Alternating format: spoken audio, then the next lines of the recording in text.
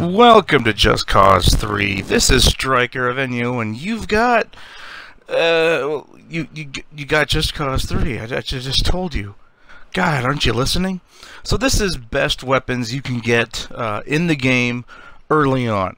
So it, it's not the most powerful weapons in the game, because ultimately those are uh, mission locked. It's not the stuff from the DLC, because you got to have certain stuff completed. But these are the ones that, hey, if you just bought the game for really cheap, uh, if they made the game free with games for gold, uh, you can get these pretty much right away and, you know, start collecting a few of them to make your gaming uh, experience a little bit easier because you've got some powerful stuff. And here we go. Wait, lo logging in.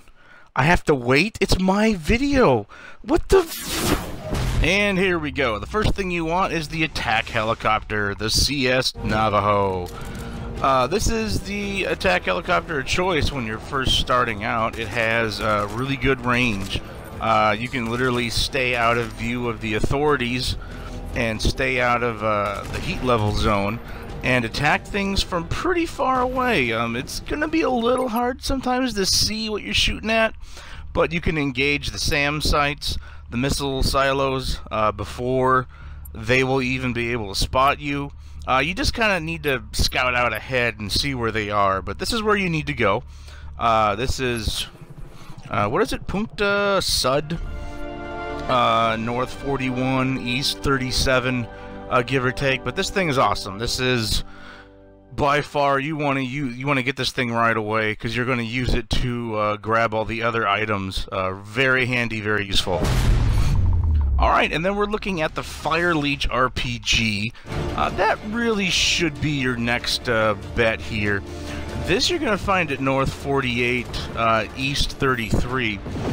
Uh, this is the Cava Jamanos Nord. Now, there's also a Jamanos Sud, but you don't want that. You want this one that's higher up. Uh, I cleared out the other one thinking it was it as you can see, we just got to go basically straight north from when we got the uh, uh, the CS Navajo. And you're going to use the helicopter best you can. There's a lot of air defenses. Um, not to lie, this is going to be a little bit of a tough area, but I mean, you know, destroy as much as you can. Uh, use your other rocket launchers uh, to the best of your ability. Uh, take them out. You're going to have enemy helicopters here. Uh, you can grab onto them if you want. You're going to have enemy tanks. Uh, it's probably a good idea to jump into one of them and just start uh, wrecking shop. There's a lot of stuff you need to destroy, including the the top half of those excavators, the big machineries that you saw before. I believe that the area that you're going to is going to need to you're going to need to destroy two of them up there. But uh, yeah, there's a, there's a lot of guys, a lot of attack helicopters. You might want to uh, use your attack helicopter the best you can, and then when you need to bail out of it, uh, then just bail out and go to a couple of SAM launchers, hack them to get them on your side, and then uh, it'll give you a little bit of room to move around. Next up is the Bavarium tank. Uh, this thing's pretty cool, especially since you uh, just assaulted the uh, the Fire Leech RPG, you might have noticed having uh, an armored vehicle like a tank is pretty handy when you got multiple SAM sites and you got multiple missile launchers, multiple uh, helicopters engaging you. So I kind of recommend this. I, I like having uh, something heavy that's got a gun that can take out most of my uh, most of the things that you need to destroy as part of a military base. And uh, that's in Cava, Montana. Uh, it's in this uh, gully area. I think that's what it's called, right? Um, you know, the water area with recessed walls and whatnot. Uh, you gotta watch out for the train. The train that goes by has uh, multiple uh, SAM launchers on it, so you might not get to have your helicopter for extremely long if you get too close to that train train line over there. But uh, but the tank is kind of fun. It's got the uh, the double barrel on it. That just basically means it reloads a little faster than your average tank. It's got a machine gun on it. Um, and it also has a built-in shield that you activate by pushing down on the left stick. I'm um, not sure on PlayStation 4, but it's probably similar to, to that. But yeah, you know, it, it's not really bad. It makes quick work of, of stuff uh, bases and whatnot. You don't got to worry about the SAM launchers, of course. Uh, yeah, helicopters can can lay into it pretty heavy, but uh, but it really is. It's the best tank in the game. Uh, DLC notwithstanding, you know, like the mechs. So definitely one you want to get. And we have the bomber jet, the U-7 Dravec. This is going to be a bit of a tough. This is in Vulture. Uh, this is at North 47, East 36. Um, this is a triple runway military base. Um, but the trick is, is that uh, if you can kind of blast your way into one of the hangars, you can actually grab yourself uh, one of these jets, if not the uh, the standard fighter jet, which is also another machine that we want to have. But yeah, this is the U-7 Dravec. This is it's got the uh, the twin fins in the back and the dual engines uh, that you can recognize it. Uh, but that's it's the bomber, so it, it has a separate reticle for using bombs, and uh, you can actually probably get two bombing runs in uh, to an area. So this this is the hangar I'm talking about. Um, if you can make your way kind of in the middle level, you know, not the upper part, but this middle area, you can get in here and you'll actually find a number of bombers. This is me actually uh, grabbing one of the bombers and attacking the exact same base. Uh, it literally took me, I think, an entire day uh, in game to take out all the installations because I was a really early level. As you can see, you know what? It's actually pretty fun. It takes a little time getting used to switching the camera around when you're doing bombing runs.